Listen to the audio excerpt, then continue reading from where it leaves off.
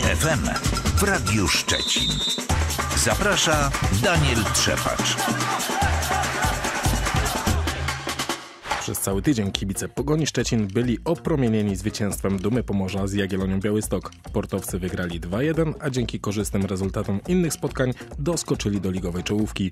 Najbliższe dni z Pogonią Szczecin zapowiadają się więc wyśmienicie, ale zanim przejdziemy do drużyny seniorów, pomówmy o zapleczu. Już w piątek swój mecz w ramach rozgrywek trzeciej ligi rozegrały rezerwy Pogoni Szczecin. Podopieczni Pawła Kretiego mierzyli się na własnym obiekcie z Unią Solec Kujawski. Portowcy wywiązali się z roli faworyta i wygrali 2-1 po golach Gracjana Chyla i Adama Frontczaka. Już dziś do gry po przerwie na mecze reprezentacji wracają zawodniczki Pogoni Szczecin. Podopieczne Piotra Łęczyńskiego są liderkami tabeli i o godzinie 12 rozpoczną mecz na własnym obiekcie z Medykiem Konin. Najważniejsze wydarzenie tego weekendu to oczywiście mecz Pogoni Szczecin z Puszczą Niepołomice w PKO BP Ekstraklasie. I jak to spotkanie przed jego rozpoczęciem widzi trener Puszczy Tomasz Tułacz? Posłuchajcie. Przed nami kolejny pojedynek w Ekstraklasie i i mecz, w którym mierzymy się z rywalem z górnej półki ligi. Uważam, że to jest e, zespół pierwszej trójki wręcz, jaką formę prezentuje na dzisiaj i, jak skutecznie gra, jakich posiada zawodników, to naprawdę jest to topowy zespół i staramy się przygotować jak najlepiej do tego meczu.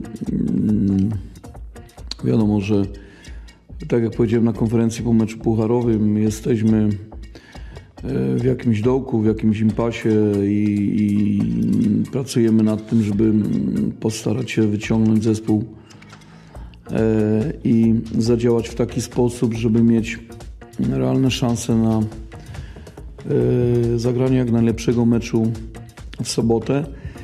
Skupiamy się na tym dzisiaj, trenujemy oczywiście, nie jesteśmy zadowoleni z tego, jak, jak wyglądaliśmy we wtorek, ale no to już jest za nami, wyciągamy wnioski i staramy się robić wszystko, żeby w sobotę wyglądać inaczej. Ja miałem okazję porozmawiać z Kacprem Smolińskim, który w sobotę będzie mógł zagrać w Pogoni po raz 50 w karierze. Do tego świetnie wspomina swoje występy na stadionie w Krakowie, gdzie Pogoni przyjdzie zagrać z Puszczą. Tak, dokładnie. Tam debiutowałem w Ekstraklasie, ostatnio strzeliłem bramkę, także dobrze mi się kojarzy ten stadion. Powiedz, e, myślisz o tym, że jest szansa, żeby w tym meczu wyjść w podstawowej 11, kiedy wypada ze składu Rafał Kurzawa, czy dzisiaj jeszcze nie wiecie nic na ten temat? Znaczy jeszcze nie wiemy na ten temat. Ja w tygodniu daję z siebie wszystko, żeby pokazać trenerowi, że zasługuję na minuty, od, od pierwszej minuty na występ od pierwszej minuty, także na każdym treningu daję z siebie maksa, a jaki będzie skład to zobaczymy w weekend. Ostatnio dobre wyniki, atmosfera w zespole, patrząc na trening, wyśmienita.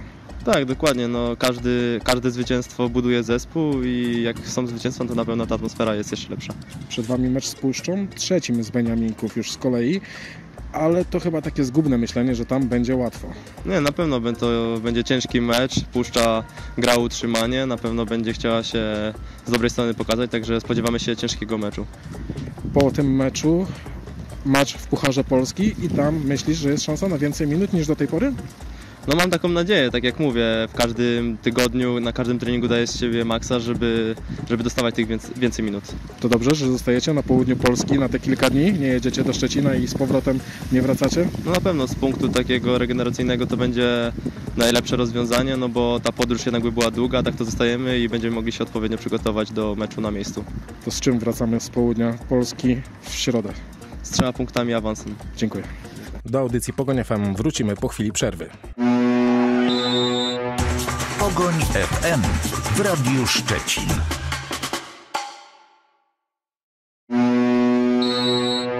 Pogoń FM w Radiu Szczecin. Zaprasza Daniel Trzepacz.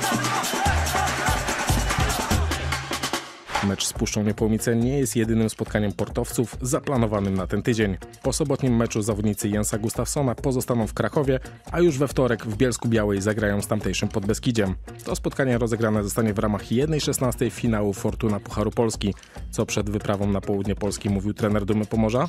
For sure this, this uh, both opponents is far away, so the ones who is uh, traveling uh, tomorrow, and there will also be someone that is traveling on Saturday. It's a bigger amount than normal. A więc na pewno ci przeciwnicy znajdują się w dużej odległości od nas, więc e, będzie to troszkę inny skład e, w, na pierwszym meczu i potem na drugim. A natomiast na pewno wezmę więcej osób niż zwykle. Więc e, w sobotę oczywiście Rafała Kurzawy nie będzie, ponieważ, ponieważ został zawieszony, to już wszyscy wiemy. I Lonczar nie będzie gotowy na to, żeby zagrać w tym meczu. Um, I na nich jednak liczę i oczywiście Rafał będzie gotowy, żeby grać w meczu pucharowym i Lonczar też. Nie pojedzie z nami jednak Marcel, ponieważ on jest nadal nie gotowy na to, żeby zagrać. Także to będzie jed, jed, jeden taki zawodnik, który nie weźmie udziału w tych meczach. Jak zwykle nie chcę zbyt dużo tutaj e, ujawniać, ale oczywiście no to nie będzie duża niespodzianka, także mamy Rafała, który jest zawieszony, mamy Aleksa, który do nas wrócił, więc no prawdopodobnie to tak właśnie będzie. Um, tak naprawdę nie mogę, nie jestem w stanie odpowiedzieć na to pytanie bardzo specyficznie, ponieważ nie znam nazwy dokładnie tej kontuzji. Um, to nie jest nic związanego z um, problemami mięśniowymi, to raczej chodziło o ból.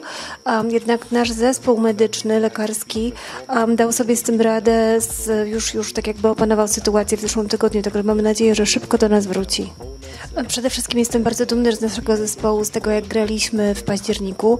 Byliśmy w stanie się zaadaptować i dostosowywać do naszych oponentów e, na bardzo wysokim poziomie. I mecze były różne. Niektóre były bardziej nastawione na defensywę, niektóre były bardziej na ofensywę.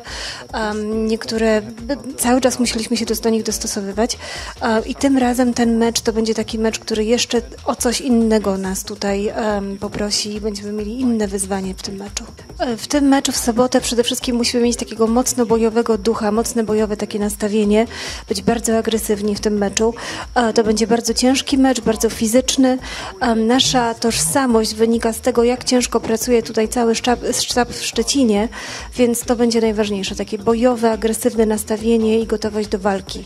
Więc odpowiadając na Pana pytanie, analizowaliśmy to, jak Puszcza gra bardzo długo i dokładnie, dogłębnie, więc wiemy, jaki mają styl gry i wiemy, na co są nastawieni i wiemy, że to będzie ciężki mecz. Um, natomiast um, na pewno mamy pewność siebie, jesteśmy na to przygotowani, także jesteśmy gotowi na wszystko, co nas czeka. Jak już mówiłam na konferencjach poprzednich, przedmeczowych, to jesteśmy teraz na etapie budowania nowego zespołu i wydaje mi się, że robiliśmy to bardzo dobrze do tej pory, dobrze nam to wychodzi, jesteśmy coraz lepsi, podnosimy poziom naszej gry i mam nadzieję, że damy sobie radę. To ważny dla Pogoni tydzień. Jest stawiana w roli faworyta w spotkaniu z Puszczą i strata punktów w tym meczu będzie traktowana jako sensacja. Odpadnięcie z rozgrywek o Puchar Polski też nie wchodzi w grę. Kibice wierzą, że tym razem walka o Puchar Polski trwać będzie aż do 2 maja 2020 2024 roku. Wtedy rozegrany zostanie finał na Stadionie Narodowym w Warszawie. Zanim do tego jednak dojdzie, przed Pogonią inne i wcale niełatwe wyzwania.